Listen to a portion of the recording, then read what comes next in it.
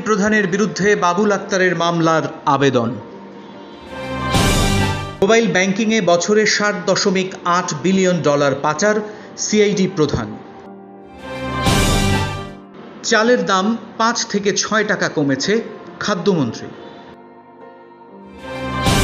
সিঙ্গাপুরের বেয়াল্লিশতম শীর্ষ ধনী সামিতের আজিজ খান। পুলিশ হেফাজতে নির্যাতনের অভিযোগে ছয় পুলিশ কর্মকর্তার বিরুদ্ধে মামলা নেয়ার আবেদন করেছেন সাবেক police super SP Babul Akter. বৃহস্পতিবার চট্টগ্রাম মহানগর দায়রা জজ জেবুন্নেসার আদালতে বাবুলের পক্ষে তার আইনজীবী কামরুল ইসলাম চৌধুরী সাজ্জাদ আবেদনটি করেন। আবেদনটির বিষয়ে আদেশের জন্য উনিশ সেপ্টেম্বর তারিখ রেখেছেন আদালত। মহানগর দায়রা জজ আদালতের সরকারি কৌশলী ফখরুদ্দিন চৌধুরী এই তথ্য জানিয়েছেন। হুন্ডির কারণে কত বিদেশি মুদ্রা থেকে বাংলাদেশ বঞ্চিত হচ্ছে? কাদের মাধ্যমে এই মুদ্রা পাচার হচ্ছে? তার একটি ধারণা পাওয়া গেল। এরকম একটি চক্রের ষোলো সদস্য পুলিশের অপরাধ তদন্ত বিভাগ সিআইডির হাতে ধরা পড়ার পর। সিআইডি প্রধান অতিরিক্ত আইজিপি মোহাম্মদ আলী মিয়া বলেছেন, বিকাশ, নগদ, রকেট ও উপায়সহ বিভিন্ন মোবাইল ফিনান্সিয়াল সার্ভিস এমএফএস এর মাধ্যমে অন্তত পাঁচ হাজার এজেন্ট হুন্ডি চক্রে জড়িত।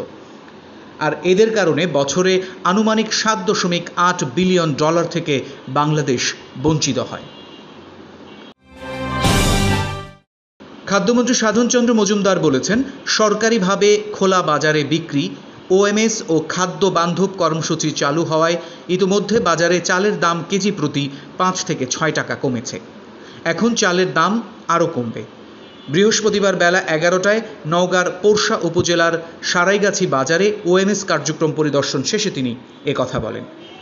খাদ্যমন্ত্রী বলেন, আমন ধানেও কৃষকরা যেন ন্যায্য মূল্য পায় সেটি নিয়ে কাজ করা হচ্ছে। ন্যায্য মূল্য নিশ্চিত করতে আমরা প্রস্তুত আছি। সিঙ্গাপুরের শীর্ষ পঞ্চাশ ধনীর তালিকায় আবারও নাম উঠেছে বাংলাদেশের মোহাম্মদ আজিজ খানের। তিনি বাংলাদেশের বিদ্যুৎ খাতের কোম্পানি সামিতের প্রতিষ্ঠাতা চেয়ারম্যান। গতকাল বুধবার মার্কিন সাময়িকী ফোর্বস সিঙ্গাপুরের শীর্ষ পঞ্চাশ ধনীর তালিকা প্রকাশ করে। এই তালিকায় আজিজ খান রয়েছেন বেয়াল্লিশ নম্বরে। তার সম্পদের পরিমাণ দেখানো হয়েছে একশো কোটি মার্কিন ডলার। প্রতি ডলারের বিনিময় মূল্য পঁচানব্বই টাকা ধরে হিসাব করলে বাংলাদেশি মুদ্রায় যার পরিমাণ সাড়ে নয় হাজার কোটি টাকা। সিরাজগঞ্জের উল্লাপাড়ায় বজ্রপাতে আট কৃষক নিহত হয়েছেন। এ সময় আহত হয়েছেন আরও অন্তত পাঁচজন। আট সেপ্টেম্বর, বৃহস্পতিবার বিকেল সাড়ে চারটার দিকে উপজেলার পঞ্চকোশী ইউনিয়নের মাটিকোড়া গ্রামে এই ঘটনা ঘটে। আহতদের উদ্ধার করে উল্লাপাড়া তিরিশ শয্যা হাসপাতালে পাঠানো হয়েছে। পঞ্চক্রোশী ইউপি চেয়ারম্যান তৌহিদুল ইসলাম ফিরোজ এই তথ্য নিশ্চিত করে জানান, বৃহস্পতিবার বিকেলে জমিতে চারা রোপণের কাজ করছিলেন কৃষি শ্রমিকেরা। এ সময় বজ্রপাতে ঘটনাস্থলে আট কৃষি শ্রমিক নিহত হয়। আহত হয় আরও অন্তত পাঁচজন। উপজেলা নির্বাহী কর্মকর্তা উজ্জ্বল হোসেন বলেন, খবর পেয়ে ঘটনাস্থল পরিদর্শন করা হয়েছে। নিহত প্রত্যেক পরিবারকে পঁচিশ হাজার টাকা অনুদান দেয়া হয়েছে। মরদেহগুলো পরিবারের কাছে হস্তান্তর করা হয়েছে। দেশের অধিকাংশ জেলায় ছড়িয়ে পড়েছে ক্ষতিকারক সাকার মাছ। এ নিয়ে সরকারি মহলে উদ্বেগ দেখা দিয়েছে। এখন মাছটি আমদানি, প্রজনন চাষ, বিক্রি, পরিবহন প্রভৃতি নিষিদ্ধের প্রস্তাব দিয়েছে মৎস্য অধিদপ্তর। সম্প্রতি মৎস্য ও প্রাণী সম্পদ মন্ত্রণালয়কে এই বিষয়ে একটি চিঠি দিয়েছে অধিদপ্তর। এরপর মৎস্য ও প্রাণী সম্পদ মন্ত্রণালয়ে সাকার মাছ থেকে দেশীয় প্রজাতির মাছ রক্ষায় করণীয় বিষয়ক একটি সভা করেছে। মৎস্য ও প্রাণী সম্পদ মন্ত্রণালয়ের সভায় মৎস্য অধিদপ্তর ও বাংলাদেশ মৎস্য গবেষণা ইনস্টিটিউটের কর্মকর্তারা উপস্থিত ছিলেন। সেই সভায় জলাশয়ে সাকার মাছ ছড়িয়ে পড়ার বিষয়ে উদ্বেগ প্রকাশ করা হয়। মাছটি যেন দেশে কোনো ক্ষতিকারক প্রভাব ফেলতে না পারে, সেই বিষয়ে পদক্ষেপ নিতে বলা হয়। খার্কিব অঞ্চলে কোনো ধরনের ঘোষণা ছাড়াই পাল্টা আক্রমণ শুরু করেছে ইউক্রেন সেনারা। এতে রুশ বাহিনীর মধ্যেই কেউ কেউ চিন্তিত হয়ে পড়েছেন। খার্কিবে অবস্থানরত রুশ সেনারা বিচ্ছিন্ন হয়ে যাবে।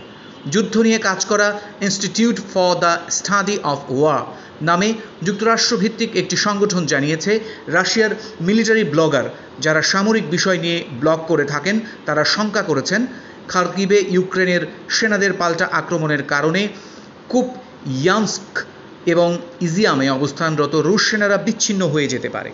আর এর মাধ্যমে ইউক্রেনের সেনারা বড় একটি অংশ পুনর্দখল করে নিতে পারে।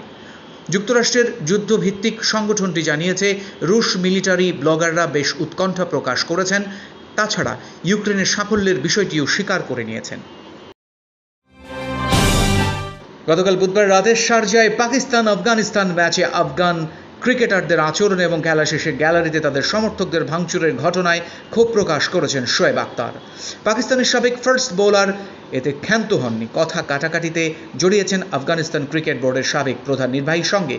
ম্যাচ শেষে আফগান সমর্থকরা তর্কে জড়ান পাকিস্তানের সমর্থকদের সঙ্গে। এক পর্যায়ে সেটা রূপ নেয় মারামারি আর ভাঙচুরে। এরই মধ্যে সামাজিক যোগাযোগ মাধ্যমে ছড়িয়ে পড়া একটি ভিডিওতে দেখা যায়, বেশ কয়েকজন আফগান দর্শক গ্যালারির চেয়ার ভাঙচুর করছেন। একজন পাকিস্তান সমর্থককে পেটাতেও দেখা যায়। এসব নিয়ে খেলা শেষে নিজের ইউটিউব চ্যানেলে কথা বলেন শোয়েব। প্রতিবেশী দেশটির সমালোচনা করে রীতিমতো এক হাত নেন তিনি। জাতি হিসেবে আমরা সবসময় আফগানিস্তানের কঠিন সময়ে পাশে দাঁড়িয়েছি। আসিফ আলী আউট হওয়ার পর এটা তারা কি করল? কে তাকে ধাক্কা দিল? এমনকি গালিও দিল?